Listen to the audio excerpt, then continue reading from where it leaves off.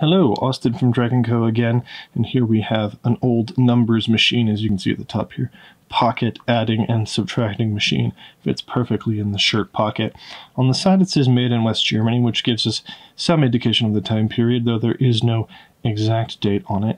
The back here says subtraction, and the front addition, so we can do some addition here handy stylus in the side, thick metal thing. We can start out with a number, say 575, ooh, 675.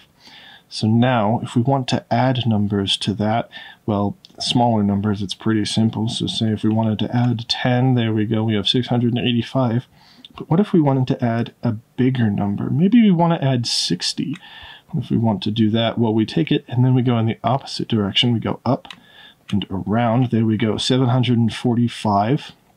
So the red markings here will indicate that we need to go in the reverse direction if we want to continue adding. Say we want to add another 700. There we go, bloop, up, 1445. Wonderful.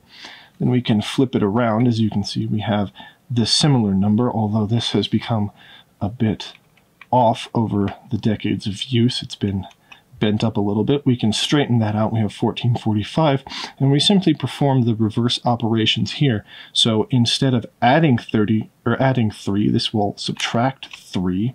Same thing here, instead of adding 30, this will subtract 30 from our number. And if we want to subtract 60, we do this, and there we go. We have subtracted 60 from our number.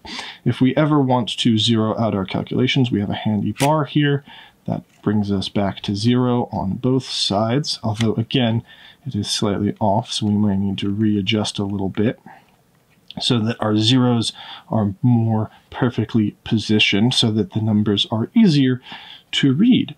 But there we go. If we want to do some basic arithmetic, or if you want to get fancy and use some multiplication tricks on this type of thing, this is a pretty easy machine to do that without having to take up the processing power in your head.